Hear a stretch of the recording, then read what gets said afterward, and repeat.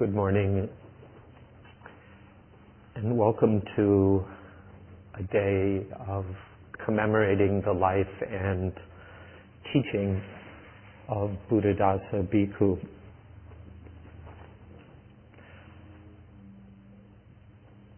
Thinking about how today might happen has been um, kind of a bewildering thing for me. So right now I have lots of ideas and not much of a plan. I have a plan for getting started. And then a lot of it will be up to you. Part of the plan, so to speak, is the some of the pictures and verses that are posted mainly in the other room. They're there for those of you who are only somewhat or or vaguely familiar with Ajahn Buddhadasa. Uh, so when you have time during the breaks, over lunch, please please take a look at um, some of those verses and sayings. It'll give you some hints of what he was about, and if there's anything that strikes you that you would like to have brought in and elaborated, um, that's one way I'm hoping things can be more more two-way instead of me just talking and talking, which I'm capable of doing. But at some point, it it, it, it might get boring. So please check those out when you have a chance. Also, a few uh, pictorial biographies were made about him, and I've brought them. If, if you could, they're on the chair right there. One has English captions. Uh, the other two don't. Um, one of them was specific. Could you just pass them around. And so as we're going through this, I think I'd like to just have these books circulate and look at them as much or as little as you like. And for the same purpose uh, as the poems and things that are posted. One of them, which is in the front row right now, was made for his 80th birthday, which was turned into a, a much bigger event than he wanted. And he made this kind of book, uh, this book as a thank you to his students. And parts of it are translated, but and on the Suan Mokkh website. Unfortunately, the translations aren't here, so you can just sort of see the pictures. And then the other book with a green cover is mainly from his cremation, though it also has biographical stuff. So I thought I would just circulate them and you can at least look at the pictures and maybe it'll spark some interest or those of you who've been to Suan Mokkh or to Thailand or were born in Thailand, um, it might it might stir up some memories or thoughts that you'll you can share as we go. Third, I, I've thought up some questions, and a couple of them I'll say now and then they may also provide us with with um, opportunities for uh, exploring Ajahn Buddhadasa's work, his teaching in in different ways. I'll come back to some of these later, but I'd like to present uh, three questions. We won't go into them just yet, but I'll, I'll read them so they're maybe bubbling away in the back of your mind. First question is, are there any seeming contradictions or nonsensical pieces to you how you've heard uh, Theravada Buddhism presented. Um, meant to be a little bit provocative in the official sort of orthodox position.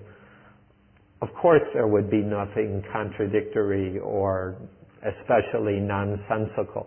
I was looking for a word that means basically it doesn't make sense, it doesn't compute very well. But for me and many people I've met over the years, there are things we hear from different teachers or even in the suttas or some of the the early teachings versus some of the later historical developments. There are pieces that strike some people as contradictory or confusing. So I want to put out the question, are there things like that that have been confusing or seem contradictory for you?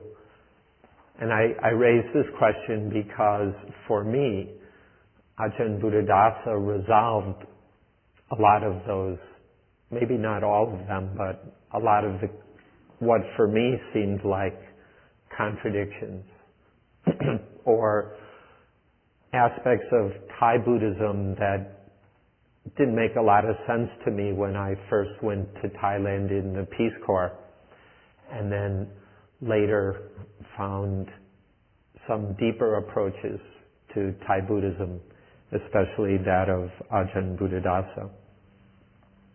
So if there are elements like that, uh, we might take some time later for you to uh, mention things that don't always seem to make sense to you.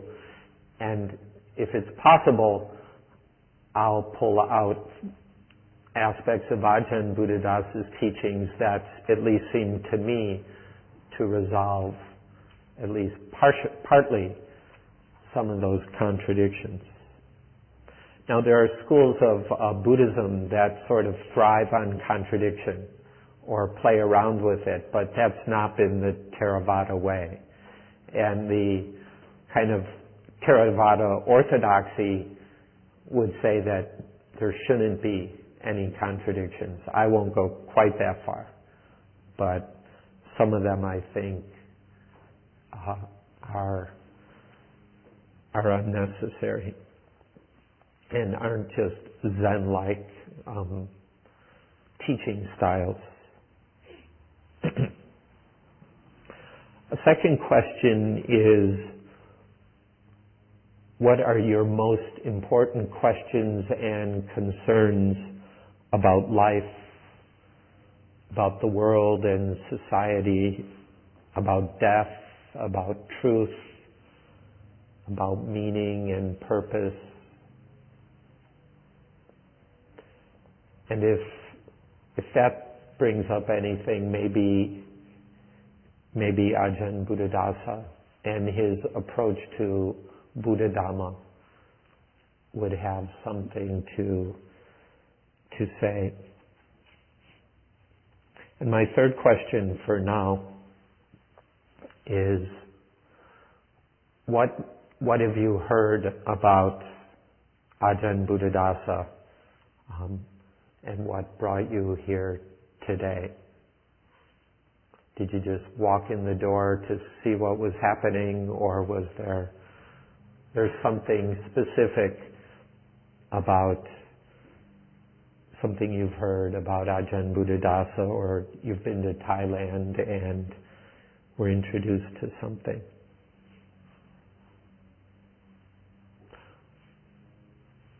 So I'll, I'll leave those questions just in the air for now. And I'd, I'd like to take a while to provide some background and context.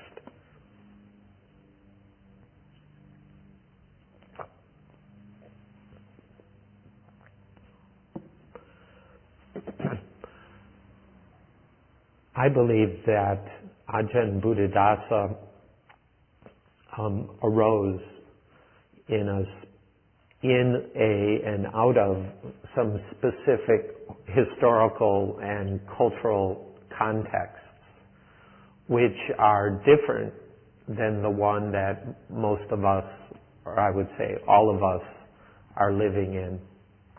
And that would be true even if we were living in Thailand.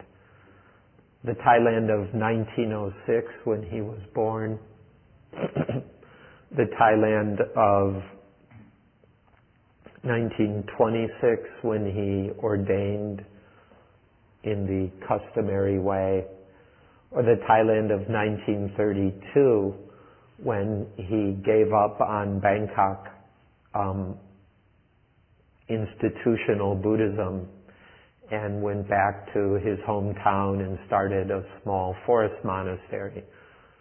That Thailand is long gone.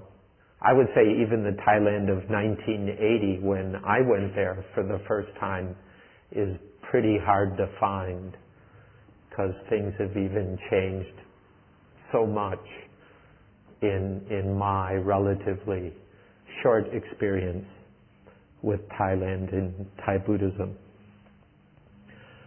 I believe it's important for those of us who are exploring Buddhism here in the West that we we explore some of the richer uh, sources of Buddhism from Asia, and in my case, especially Theravada Buddhism.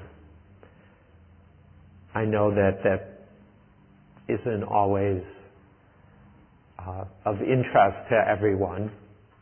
A lot of people are Americans and we just want to kind of do our American Buddhist thing somehow. But I'm of the bent that believes having some roots and knowing some history is, is valuable.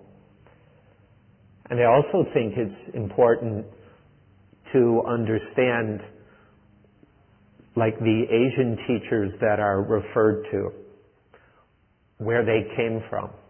And I don't just mean the country or the region they come from, but what was going on socially and culturally. And then to look around at what's going on in our society, in our culture, or in our subcultures here in North America, so that we're not too naive about things that are happening to Buddhism here in America. So we can learn both from what's going on here, but also what's gone on before. Unfortunately, the historical record doesn't go back that far. Uh, we have the most, most of it is where we have detailed knowledge just goes back to the 1800s. Uh, there's not much information except for the old chronicles from Sri Lanka, which are historically a little bit questionable, or the royal chronicles from places like Thailand, which are also questionable. Um, in both cases, largely for political reasons.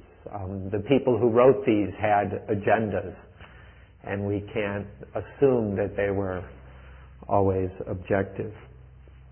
Anyway, well, I'm not going to go back into all that, but I would like to provide some setting for Ajahn Buddhadasa's life and the child who was born in 1906 and grew into somebody called Ajahn Buddhadasa. First, I'd like to um, introduce the term that I'm most used to referring to him as, which is Thanajan. This is not usually the standard uh, way that monks or lay people refer to senior teachers. But this is how we refer to him at Suan. Ajahn is a Thai word that comes from the Pali Acariya, which means teacher. Um, Tan is a purely Thai word, and it it can roughly be translated venerable, but it's not just used for monks. It it could be used for your parents, especially when talking about them in the third person, but also in the second person to address someone or speak of them in a respectful way, one would say tan, not you, not the ordinary you word or the ordinary him word or her word. So Tanajan roughly translates as venerable teacher. Uh, but it's, it doesn't, it's not as, it's a little bit formal or respectful, but it's not uh, too formal. And it's a little bit of the style of Suan Mokkh that in some ways Ajahn Buddhadasa was a bit formal. Um, and then there are other ways he was rather informal and iconoclastic. So I'll tend to speak of him as Tanajan. And now you know, you know why. He was born in an area of Thailand that has quite old and interesting cultural roots. There was an empire called Srivijaya, which was the dominant political entity in, in Southeast Asia between India and China, approximately 1200 to 14 or 1500 years ago. And in some of the old Chinese, um, the monks from China who would go visit India, some of them who went by sea stopped off in Srivijaya to learn learn Pali before going on to India. Some scholars believe that Srivijaya was based in what's now Sumatra. But other scholars, including Ajahn Buddhadasa and his brother, who were both amateur anthropologists and archaeologists, or more archaeologists than anthropologists, and the brother especially, whose name was Dhammadasa, was uh, probably the most knowledgeable historian of the the area where they both grew up and lived their lives, which is the Ban Don Bay of southern Thailand. It's if you the elephant's trunk of the Thai of southern Thailand, there's an area where it widens out. It's also where a lot of the islands are where uh, foreign tourists go, such as Koh Samui, Koh, Koh Phangan, and on the west coast, Phuket. Um, some scholars, including Ajahn Buddhadasa's brother, believe that Srivijaya was based in the area where they grew up. Now that could be some hometown pride, but there are, there are actually more ruins there than there are in Indonesia. And so they feel they have a much better archaeological case. I bring this up because unlike our culture, where everything's pretty new and we tend to forget things that are 10 or 20 years old, it seems. Um, some of us maybe know cultures either through birth or family or travel that have long, long uh, memories. But I think it's important for Americans to try to get a sense of teachers like Ajahn Buddhadasa had a sense of being part of an ongoing culture that went back hundreds of years. Thailand as a political entity only goes back, um, in some ways, back to 19, uh, the 1940s when, for political reasons, the name of the country was changed. In other ways, it goes back 200 something years to the forming of the Bangkok uh, dynasty that's currently still the royal family, the Chakri dynasty, or earlier 700 years, maybe a thousand, depending how you look at it. But in the part of southern Thailand where Ajahn Buddhadasa grew up, there was also before that the Srivijaya Empire, which was not Thai. Um, I, I, don't know what language they spoke. It may have been a Malayan type language. But this Ajahn Buddhadasa grew up and played among ruins that were 1200 years old. Or when he would take his family's cows out to pasture. His, he was from a merchant family, but they also raised cows. You know, take the cows out to the fields and you walk by some old stupas that are 1200 years old. That, I think, has an influence and an impact. And it's much different for, for us because we, we participate in Buddhism here as a, a minority religion or tradition. Whereas for somebody like Ajahn Buddhadasa, it was the way of life, and it had been the way of life for as far back as anybody could remember. The way Catholicism was the way of life for most Irish or Italians up until very recently.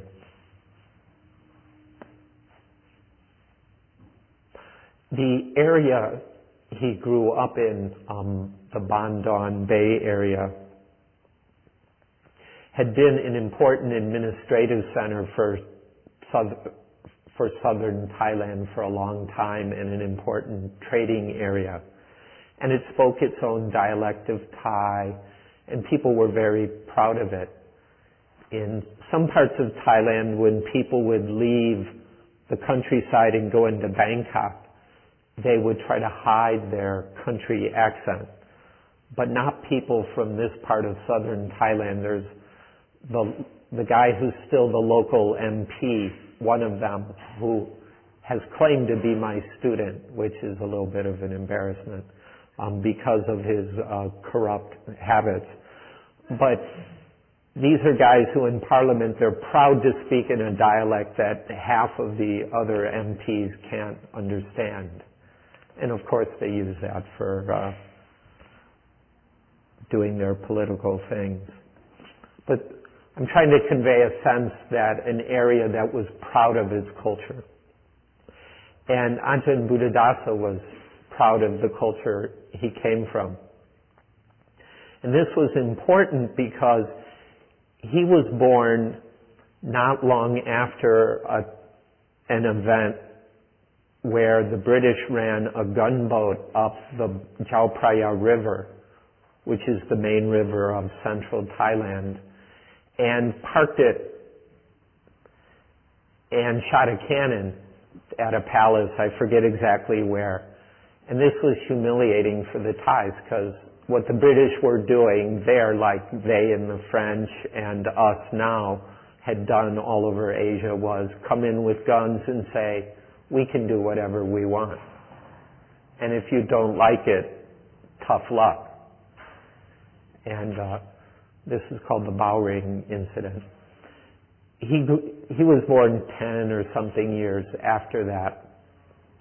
And on one hand, there was all this stuff coming in, European manufactured products, European literature, science, new ways of thinking about time. Uh, before then, the Thais had their traditional Buddhist Brahmin cosmology that was based in uh, traditional ideas about karma and rebirth. But then there is all this new stuff coming in from Europe, along with the new economics, the new trade. Thailand had always been a trading center with China, with India, with Japan way before the Europeans came. But the Europeans just added a whole nother level um, and breadth to that. But they also brought in, in a way that was perhaps unprecedented, although the Thai culture has tended to have a lot of respect for India because the Buddha was from India. So in certain ways, there's a bit of cultural hegemony from India, a tendency to see Indian culture as superior in some ways.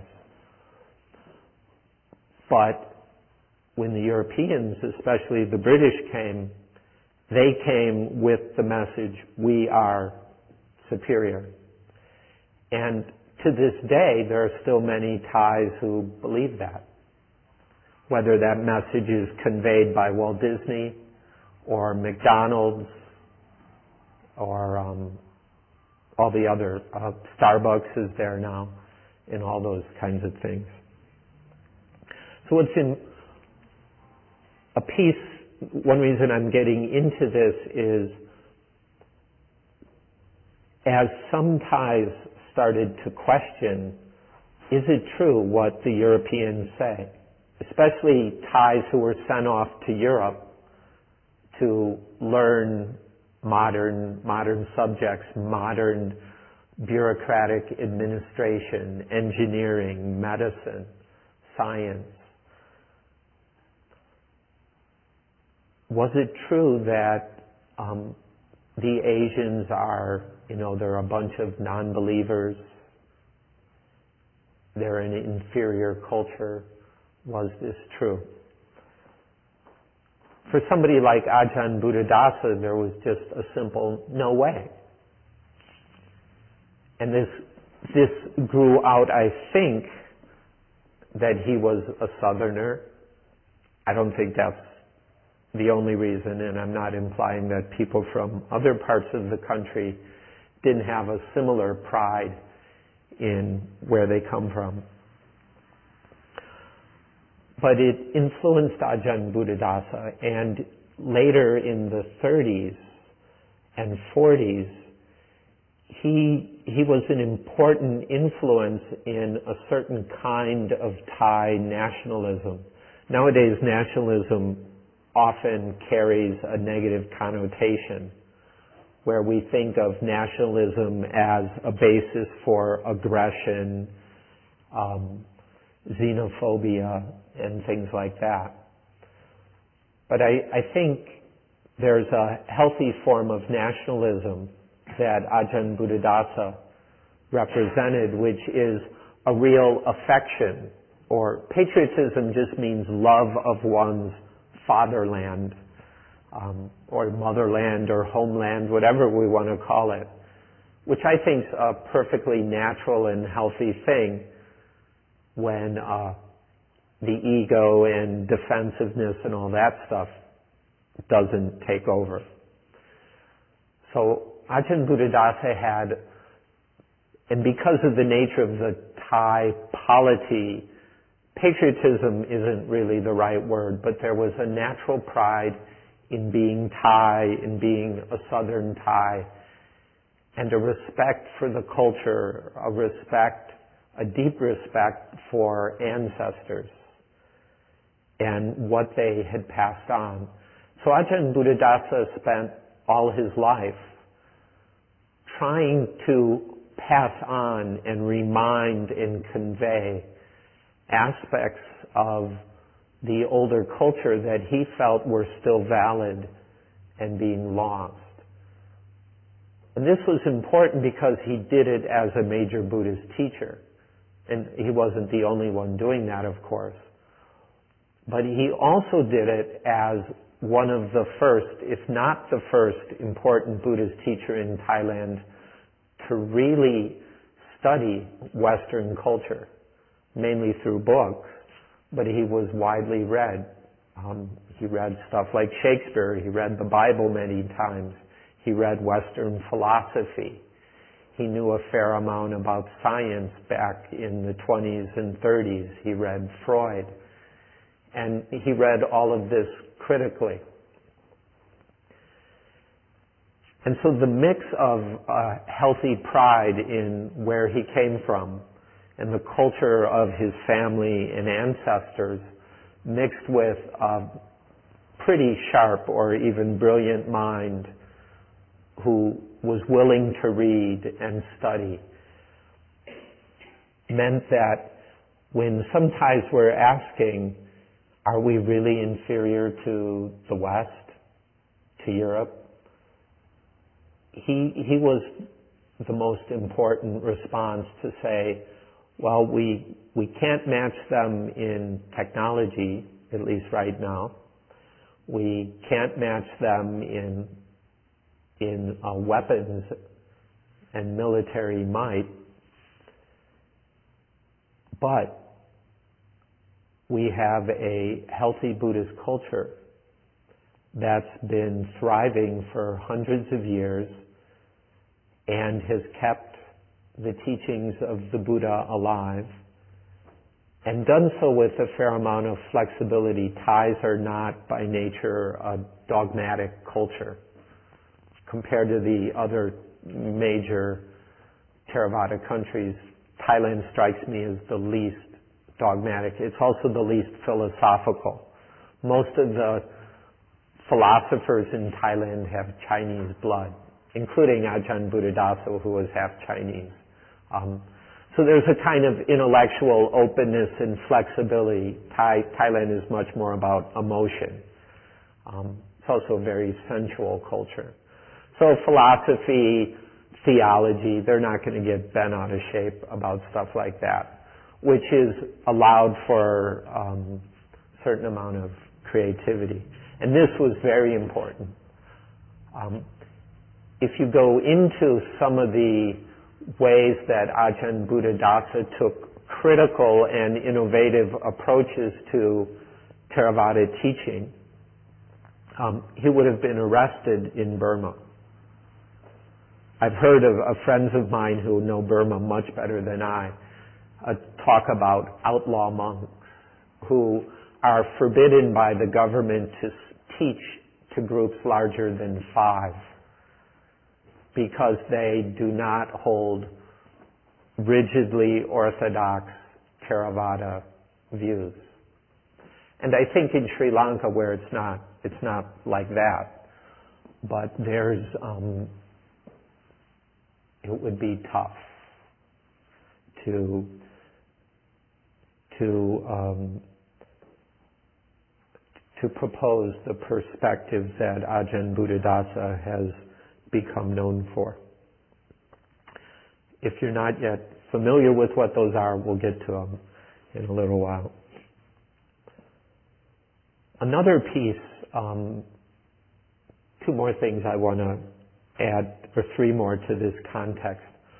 Just before he was born, there was a flowering of meditation practice in his area.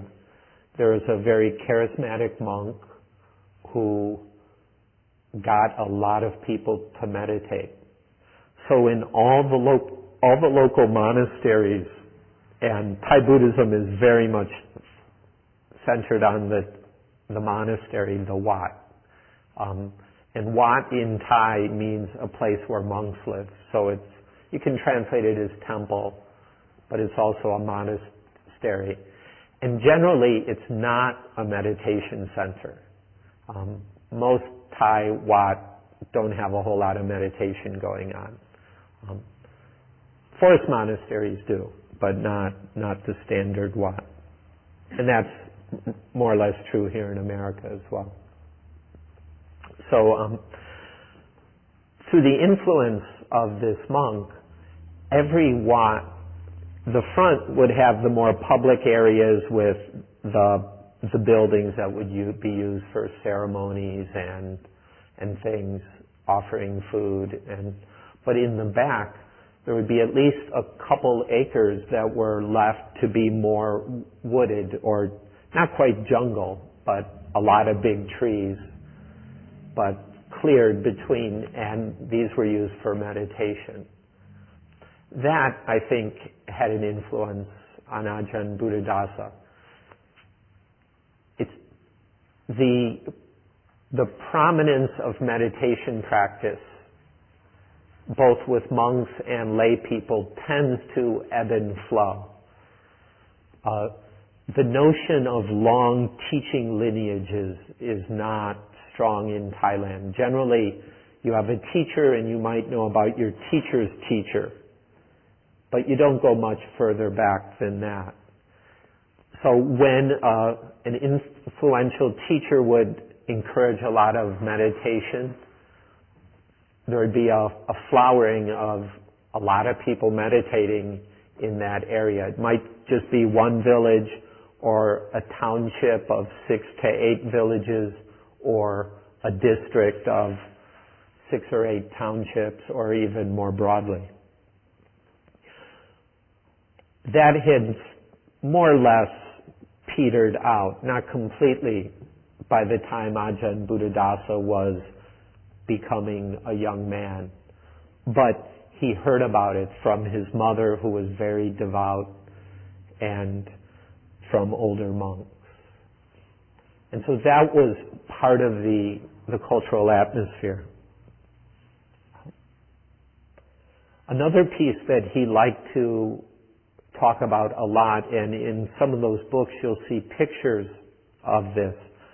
At Suan Mokkh there's a pond that was dug and in it was left a little island and there's a single coconut tree growing from the island. And this is from a traditional southern Thai lullaby about the Nalike palm. Nalike is a kind of coconut in southern Thailand. The Nalike palm stands alone in the midst of the sea of wax the thunder can't reach it, the rain doesn't touch it, known only by those who have gone beyond all merit. So that was a lullaby that they're singing when they'd rock the kids in the little uh, cloth cradles under the houses. They would sing this kind of lullaby. Ajahn Buddhadasa liked to point out that if, first of all, this was about nibbana and non-duality and they're singing it to uh, kids in the cradle. Now, I'm not claiming that all the all the infants uh, understood this with their mother's milk and the lullabies, but he thought this was a source. Uh, this is something Thai Buddhists should be proud of. That the ancestors had the capacity to weave Dhamma teachings into even children's lullabies. Traditional art forms like pap- uh, shadow puppets, which came from India, and uh, popular sayings and so on. And, and that, that's a little piece of Suan Mokkh later that he tried to remind people of some of these cultural things that weren't just culture for culture's sake. What mattered for him was when the culture served Dhamma, um, especially Buddha Dhamma. The last thing I want to mention is the influence of his mother. His father died when he was 16 and he didn't talk so much about his, his father although the father clearly had some influence. Partly it was through his father's family that he was sent up to an important Bangkok monastery to learn the Pali language and where for a little while uh, the door opened for him to get into the institutional system and become an important Bangkok monk, which he probably had the the talent and definitely had the the brains for, but he, he didn't have the stomach for it.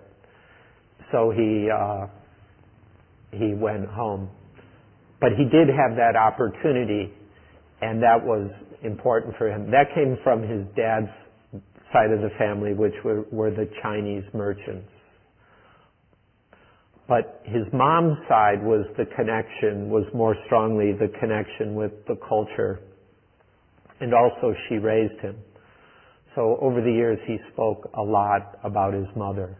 One of the main things he talked about was her thriftiness. Uh, for example, and she was she was also known for her sweets and some of her cooking, and which she sold in their little store. Uh, most local cooks would take the meat of the coconut and you grate it and squeeze it to get the coconut cream out, which is a major major element in Thai cooking, especially sweets. Called gati. And but she would do it three times. Except it was Ajahn Buddhadas and his brother who had to do the squeezing when starting when they were five or six. I guess she must have done it before then. But he would bring up lots of things like this, and um, you could see the influence on him when he died. His room, he just had all kinds of stuff that he would saved over the years. His personal notebooks. He would never go out and buy a notebook, but in Thailand every year, different companies would print kind of the tear, the calendars with tearaway sheets. That was his notebook. He would be, he would have those and he'd, he'd keep his notes. So when he died, there was boxes full of these tearaway sheets. Some of which have now been photocopied and printed into 400 page books. So, um, those of us who like to do it can thumb through there and see his notes from the 30s, the 40s, the 50s, the 60s. And most of it would show up in talks at some point. So you could kind of see how he would, most of these aren't dated, so you can't work it through that way, but you could kind of see how some of his thinking, he would try it out in his notebook before it would become a, a talk.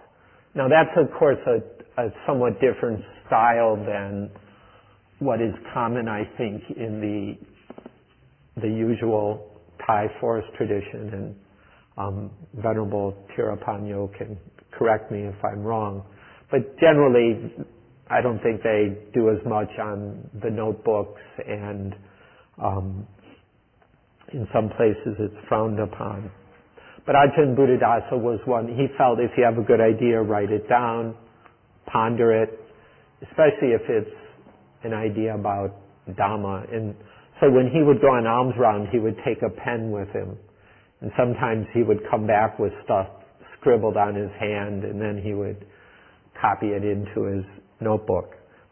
Uh, he advised that I do the same thing, but I, I would usually carry a piece of paper and scribble it on that. But I, I didn't have as many ideas as, as he did. So anyway, back to mom. Uh, thriftiness. And she was very devout. She was also very strict.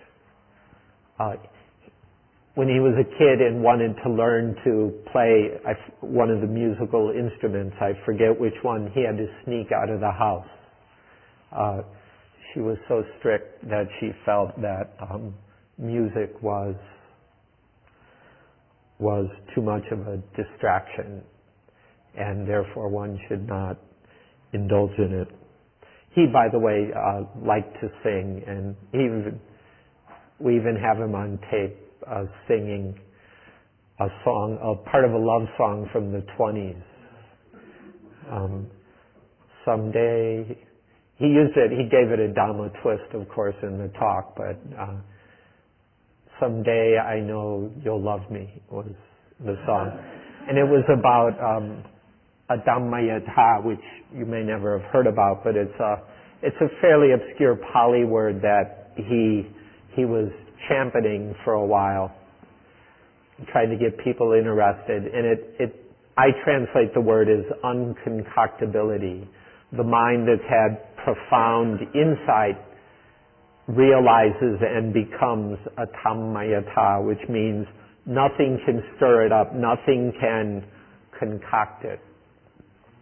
And and he so he used this this uh, I think it was from Britain, this corny love song from the twenties. So so anyway, those are some things about his background. Um, mainly things that may not be generally available in print. And so I wanted to give you some sense of where he comes from culturally, historically. It's, it's vitally important to understand what happened in Theravada Buddhism over the last hundred years to realize that all the Theravada countries were colonized or, like Thailand, not formally colonized, but subjected to constant pressure from European and later North American societies that arrogantly considered themselves superior. There were important exceptions of European and American visitors who, who didn't have that attitude, but they were the exception. And a lot that happened in Theravada Buddhism, and Ajahn Buddhadasa grew out of that and matured as a teacher during during this. The um, and he was very aware of it. That the whole world that Buddhism had known was being changed by this this powerful and fast-paced change, which only accelerated through his lifetime. And I think has made it very hard for Theravada Buddhism to adjust. And there's a lot of people who just want to go back to the past. Much of the youth is just going to the mall um, and doesn't know anything about Buddhism. And then there are some somewhere in the middle, and Ajahn Buddhadasa's, I think, the most important one, trying to straddle the Buddhist roots of Southern and Thai culture and modernity and all that it means. And I think some, in some ways, although we're, we're a bit more postmodern here, if you use that term, um, but we're still struggling with that, I think. And that's why I think learning about teachers like Ajahn Buddhadasa can help us find our way with the Dhamma in, in our society.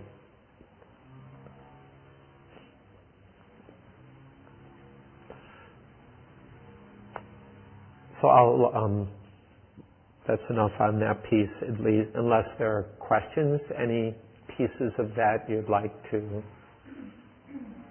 pass the mic?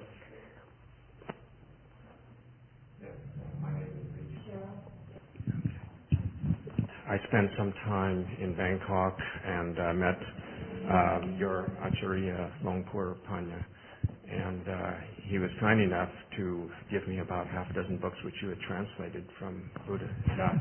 So I want to thank you for your translation work. It was very helpful. Um, I want to ask you about, but uh, apparently Buddha Dasa um, uh, learned Pali.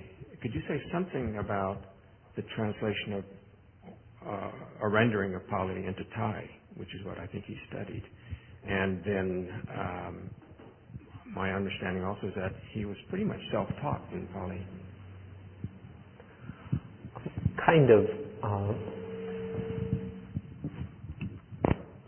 back then and even now, the way to advancement in the Thai institutional monasticism was through learning Pali.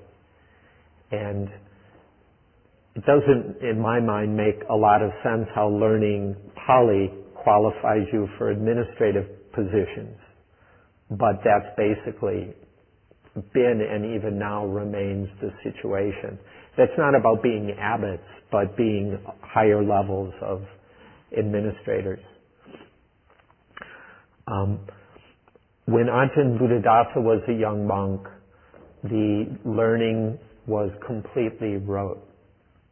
So you just memorized, and then when it time came to take the test, you you gave them back what they wanted. And the so when he went up to learn Bangkok, or went up to Bangkok to learn Pali, because he was when he was a young monk, he was clearly very smart. He was giving, he was a popular uh, preacher his very first rains retreat. He was, um, so he was precocious um, as a teenager and as a monk. And um, let me slip in a little story because I might forget it later. Um, a friend of mine, Pracha Hutanuwatr, who's kind of, he uh, put together oral memoirs of Ajahn Buddhadasa, which I have here, and is responsible, partly responsible for the pictorial biography.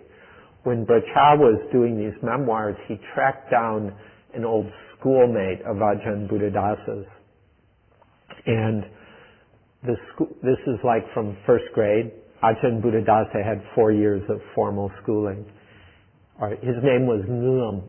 Uh, his family name was Pani. So young Ngum went to school with some of the best sweets because his mom was good at making sweets, traditional Thai sweets. And Ajahn Buddhadasa would bribe his friend to listen to him tell um, fables. So there's something about Ajahn Buddhadasa that liked to talk, even even as a, a young kid. And um, he's not the only uh, Thai teacher that would give two and three hour talks, but uh, he could he didn't mind giving uh, long talks. So anyway, back to Pali. So he was sent up to Bangkok to learn Pali, but through his uncle, who for a number of years had been a fairly important monk at an important uh, Bangkok Wat, one where there was a good Pali school, that uncle arranged for him to have a private tutor. So instead of going to the regular class, which I've never been to, but I assume the teacher would be at the front and he would just repeat stuff and people would repeat after them and they would, I've seen it in other places, uh, traditional rote learning. So he didn't go to that. He studied on his own with a very small group of students with this private tutor who was considered to be a very good Pali teacher. So he had the help of that teacher for two years. Um, but partly because it was his uh, character, his both his precociousness, and because even as a teenager in his family store, they sold Dhamma books. So all the books that he was supposed to study as a young monk, he had already read a couple times over as a teenager. Uh, and he he liked to uh, debate with the adults who also read the book. And they thought it was kind of cute, this kid who could talk about Dhamma. But he was debating with people who were educated, the local, it was an, at that time an administrative center for a large chunk of southern Thailand, so he was meeting up with people who were considered well educated in Thailand of the around the time of World War One or just after. So, um, so he went up. He he had some Pali learning, and because of his the things I just mentioned, he started reading the suttas in Pali. When I first heard that, I thought, well, that's a perfectly normal thing to do, right? You learn the scriptural language, well, you read the scriptures. But that was not the normal thing to do. Because when you studied Pali, you didn't actually study it about the suttas. The texts they used were what are called the Dhammapada commentaries. You all know the Dhammapada there are also a traditional body of stories that go with all the, every stanza. There's a story that goes with it. Those stories were written down in a much later form of Pali, the Pali of the commentaries, which is a thousand years. It's linguistically different from the Pali of the suttas. I don't know how it's different. I'm not that much of a scholar, but Supposedly it's different. And so it's easier to learn. And because they're stories, it's narrative. And it's much easier to learn a language when you've got verbs and actions and, and stuff like that rather than talking about eye and form. The interaction of eye and form gives rise to eye consciousness. The meeting together of these three is eye contact and then feeling, craving, clinging, um, let alone Abhidhamma or something like that. So he started reading the suttas and started to question the point of memorizing and then just uh, repeating back the expected stuff. So the first year he took the Pali exams, he got the highest score in the country. The second year he flunked in, intentionally by because he answered what he he gave his own ideas, and so he answered back what he thought was right, and and that's a little bit of his stubbornness. He wouldn't have become who he was if he wasn't uh, somewhat pig-headed or stubborn, and but he also had that self-confidence to and he had that support from his family, his culture, um, kind of, well, we don't have to let these Bangkok guys push us around um, or tell us how to think, let alone the Europeans. And so after that, he was more or less self-taught. And, and one reason he's, he was different and didn't just follow the orthodox Theravada take on things was he was reading the scriptures, the suttas for himself, rather than just being told what was the, what was in there.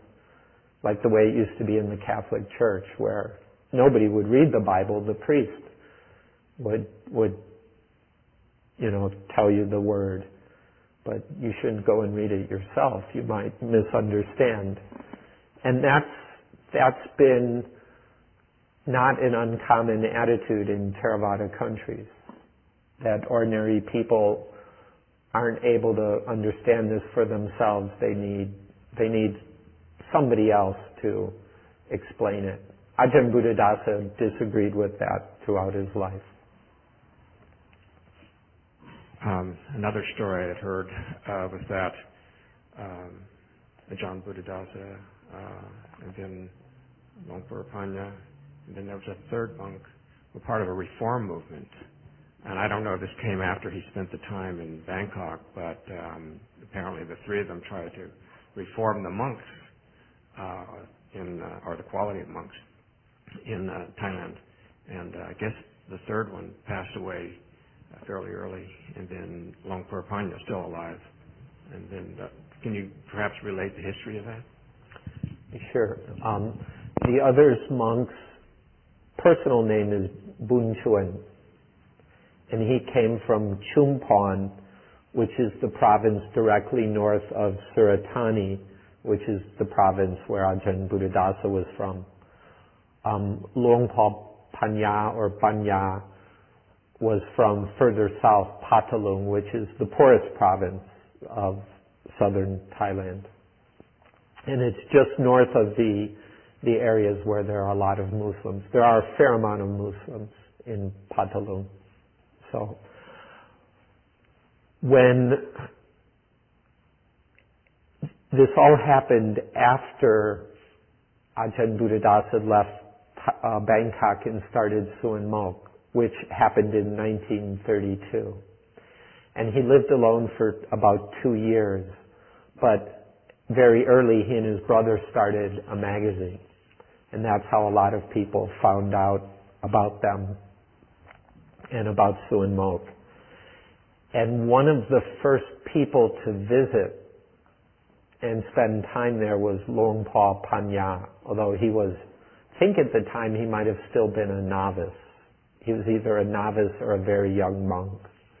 He's about five years younger than Ajahn Buddhadasa. Um, so he visited, and I think at the same time, at this part I can't remember for sure, I think actually Boon Chuan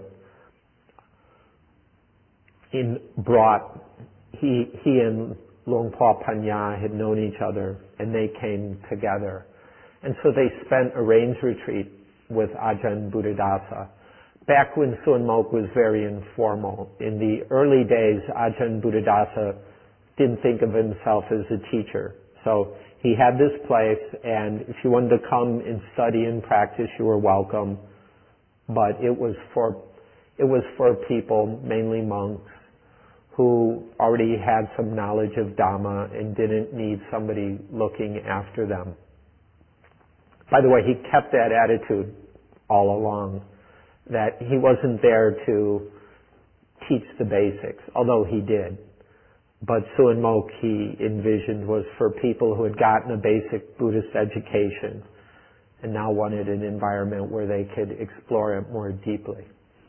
So, so anyway, uh, Boon and Luang Por were two of the very first young monks to go and spend time there. And they became close friends ever since. And because they're all from the South, their idea to reform Buddhism um, was mainly for southern Thailand. And eventually, um, Luang Por Boon Por, by the way, is a, um, a somewhat informal, enduring term of respect for senior monks. Pa means father.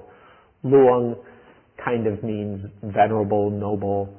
It's another word that's hard to translate. So Luang Por is a little more familiar than Thanajan. Um, Luang Por Boon Chuan became, he, he lived in Singapore for a long time and then was the monastic governor of Chumphon province for a long time and he was well known as a poet. So eventually his monastic title, which I forget, had the word Gawi in it, which means poet.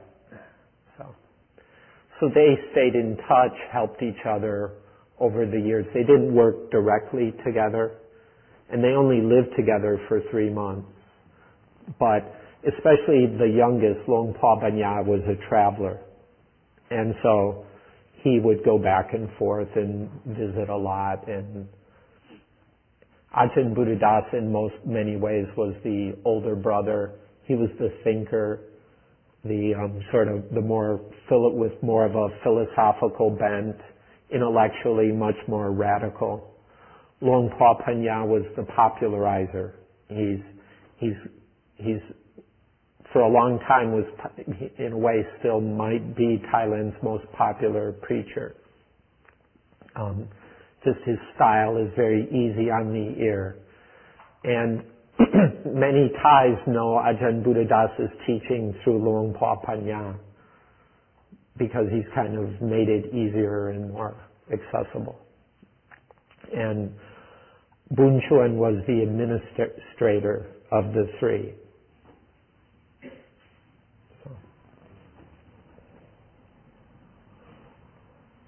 Okay.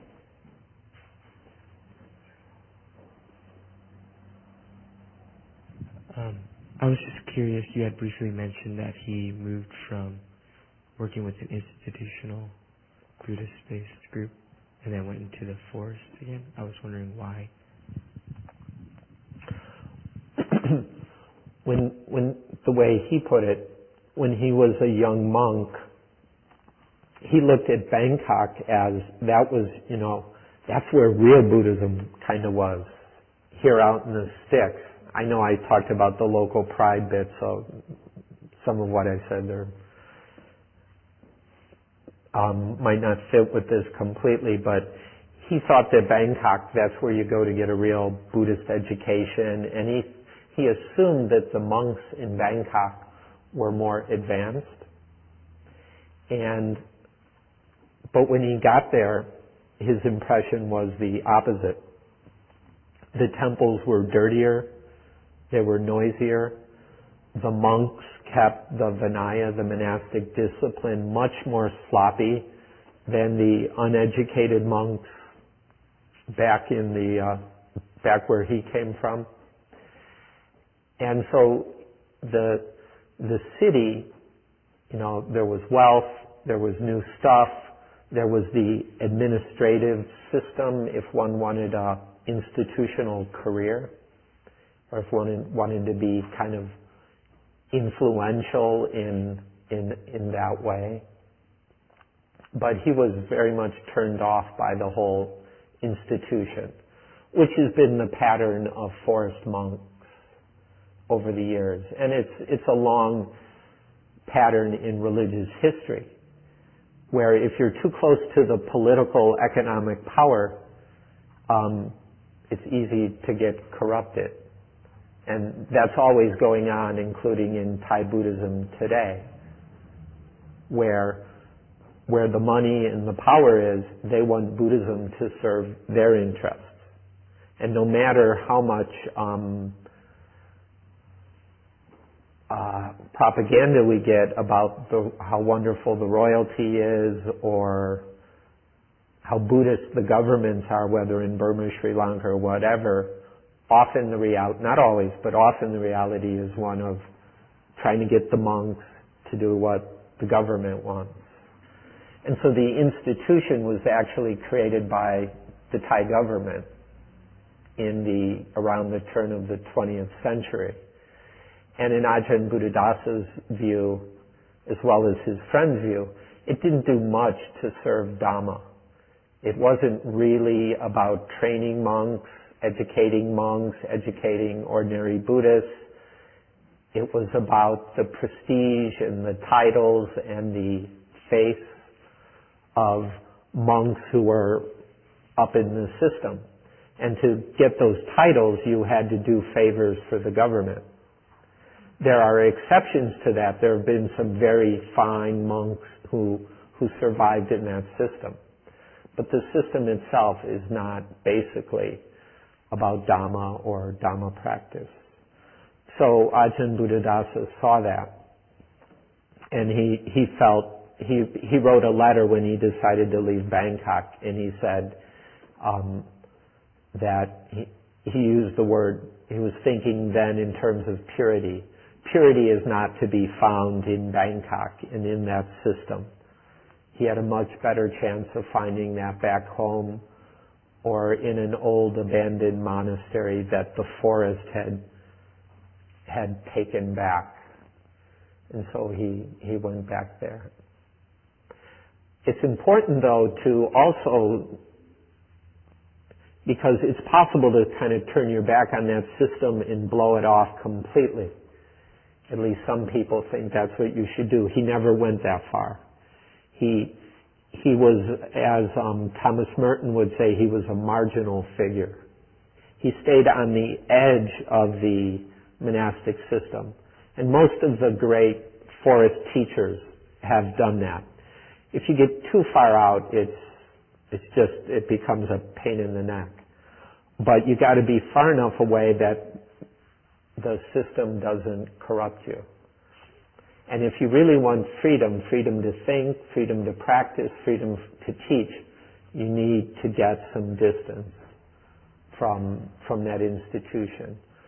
So he he kept as much distance as he could. Um, including he he went for many years without registering Suan Mokkh as a monastery. In Thailand, there's there's an official registration for monks, for monasteries, for everything to bring it under bureaucratic control or at least oversight. And also, the old uh, Department of Religion would was also pretty filthy, so they would pocket 15 to 30 percent of the money that was supposed to go to temple development. Um, so he didn't register for a long, long time until he was forced to. And, but he didn't repudiate the system. He just kept his distance, and he would interact with it when he felt it was worthwhile. Um, the system gave him titles. Also, he and other monks like Ajahn Chah were given titles. They didn't seek these things, but the institution sort of wanted to domesticate them would be a, a rude word for it.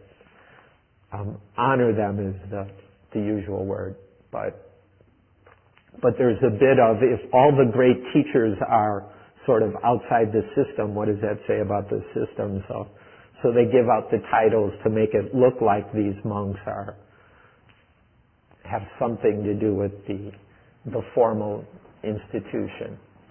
And they all did, but they were very, very careful about it. And teachers like Ajahn Buddhadasa and Ajahn Chah were very savvy about it. They understood power. Um, and they didn't want to get, they didn't want to waste their time playing power games. This may be the last question and then we'll take a, a break.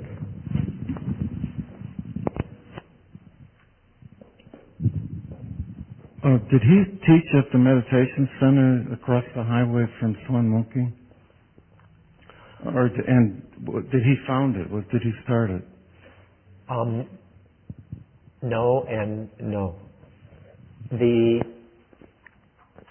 Suan Mokkh International grew out of was more a uh, the creation of Ajahn Po, who is now the abbot, and in the 80s and 90s was informally the assistant abbot. Ajahn Buddhadasa was never act- actually the abbot of Suan Mokkh. And so there wasn't a formal assistant abbot, but Ajahn Po played that role and he liked foreigners and there was a steady stream of foreign visitors from the 60s onward. And Ajahn Po heard about 10 day retreats.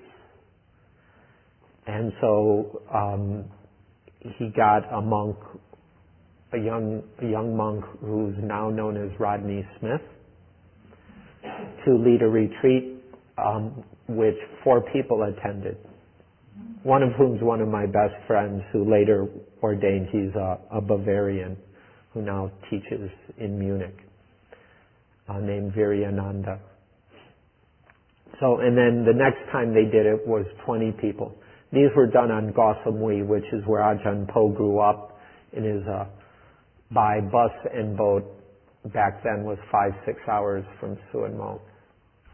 Later, and this was when, just when I was arriving in 85,